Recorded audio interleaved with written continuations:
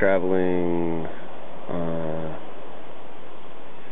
22 hours from Cahuita in the last three days on like five different buses.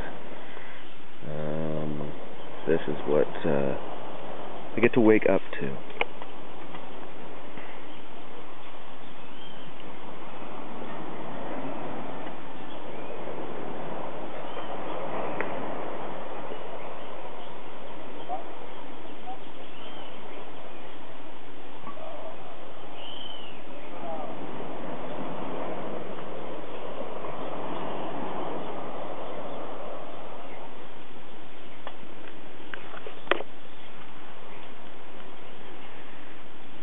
I can figure out why it was worth it.